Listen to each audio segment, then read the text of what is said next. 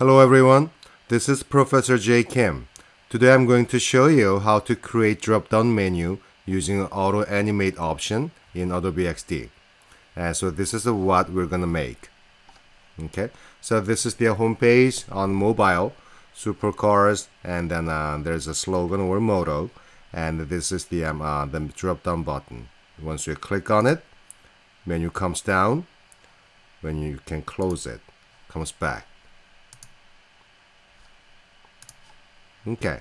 Uh, please subscribe my channel, hit the like button, and set the alarm for my latest video. Then let's get started. Okay, so uh, first let's create a new uh, Adobe XD document, new file, and then um, please choose the uh, your um, smartphone settings. Uh, since mine is the iPhone 13, so I'm gonna use this iPhone 13. Okay. So we got a new artboard. So first, uh, let me draw uh, a box using my rectangle tool. I'm gonna draw uh, one box and then no border. And then I'm gonna have the, the big image. So uh, let me open my finder. I'm gonna use this uh, image. So let me just drag and drop there. Okay so okay. Okay then um, I'm gonna rename this uh, image this layer as a BG layer so I know what I have. And next I'm gonna draw a navigation bar on top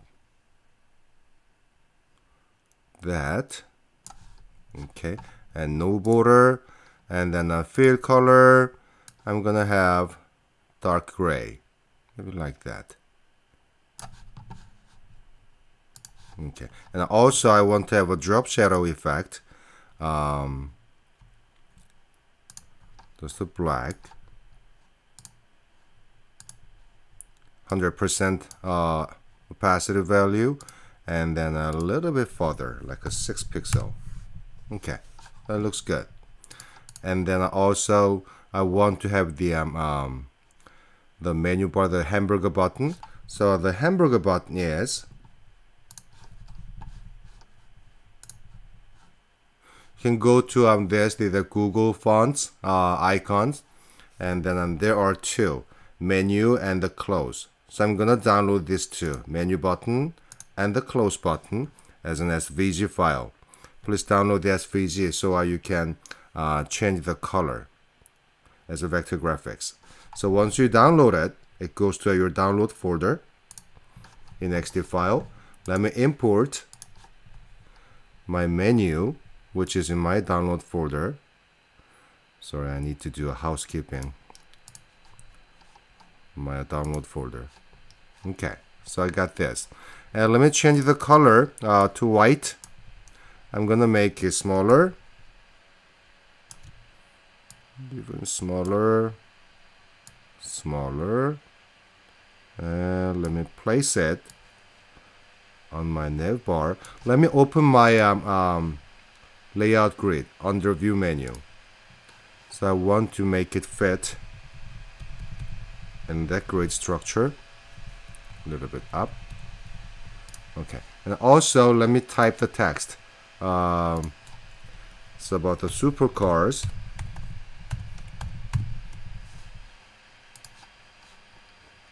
Uh, Helvetica uh, maybe bold italic and white and the text size I'm gonna have I don't know 40 40 there. Okay. And let me hide my layout grid okay supercars. And then uh, select your supercar text and then a menu button and the background. These all three. Hold on. Yep. Supercars and the background. I'm going to group them. Object, group them. And let me rename it as a nav. Sorry, nav. So they are grouped.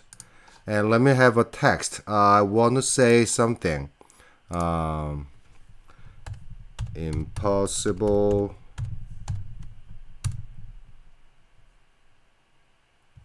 is for the unwilling. It's a kind of a slogan or motto. Impossible is for the unwilling. Let me double check. Okay. Okay. Then, uh, let me choose the different typeface for that. Uh, since I have a sans serif, I'm going to try some serif. Baskerville, not Baskerville.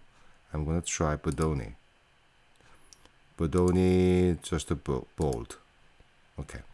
So impossible uh, in black. And then on their promotion, I saw that I'm to highlight, oops, just a possible. And let me have a different color. So impossible is for the unwilling. Okay. It's a good motto, good slogan. Okay, so next I'm gonna make the um, uh, the drop down menu. So first the thing is, let me draw one rectangle covering about this much. Okay, and no border. I'm gonna have a black fill, and let me change the opacity value down to not too bright, maybe just 80%. But it is dark enough. And also I need to have that, uh, the close button. So let me go to um, File, Import. I'm gonna uh, import that, yeah, the close button um, I downloaded from Google website. So close. Maybe that. Yeah, this X mark. Okay, I'm gonna have it in white. Uh, let me make it smaller. Let me locate it. Ah, maybe there. Somewhere there.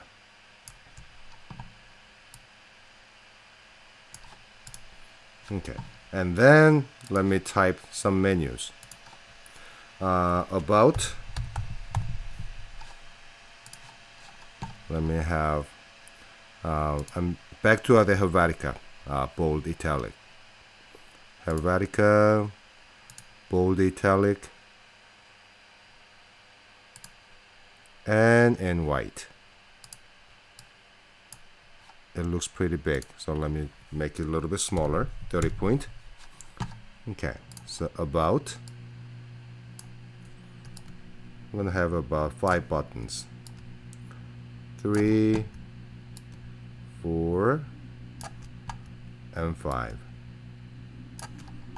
Okay, so um, this one about gallery events FAQs and contact Oops. Contact. Okay, that looks good. so now let me select my five buttons by holding down the shift key and my close button and my background. And I'm going to group them. And let me rename it as menu. Like this. Okay and then let me place it there right next to it. And select everything and group them as a big group. Okay now let me zoom out. I'm selecting my the entire artboard by clicking this iPhone 13 for uh, the 14 uh, this thing. Let me hold down the option key keep pressing your mouse button and drag it so I can have a copy. Okay, so from here, in your layers panel, you see that there's a group number one. It has everything. Now let me choose my menu group, which is this. Here, I'm going to move it. I'm going to move it to the top of my main page.